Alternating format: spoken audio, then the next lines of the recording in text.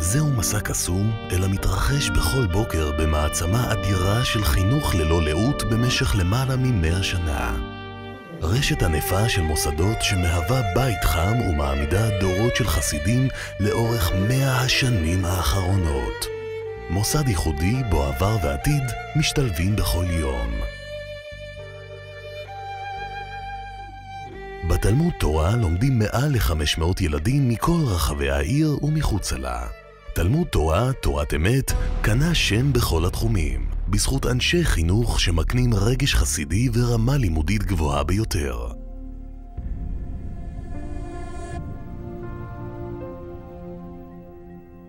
ילדי גן תורת אמת נהנים מחינוך חסידי אמיתי. המלמדים המובחרים מעניקים יחס אישי, אהבה וחום חסידי לילדי צבאות השם הרכים.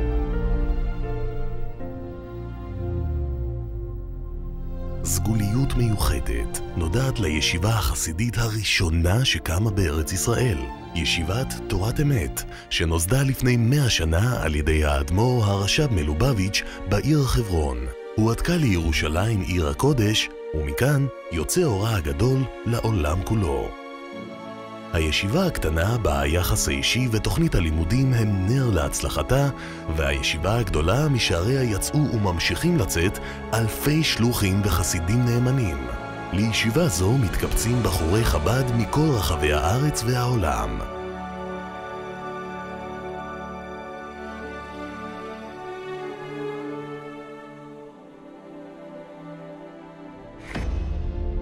בית כנסת חב"ד ברובע היהודי בעיר העתיקה, הצמח צדק. הוא שוחרר בעת מלחמת ששת הימים יחד עם המקומות הקדושים בעיר העתיקה ירושלים. כל מי ששם את חוק לימודיו בכולל צמח צדק עד עתה, הפך מהרה לשליח, רב או משמש בקודש בתפקידים שונים רבים. מטיילים ותושבים נכנסים לכולל ומוצאים בו מעיין לשאיבת מים חיים לנשמתם.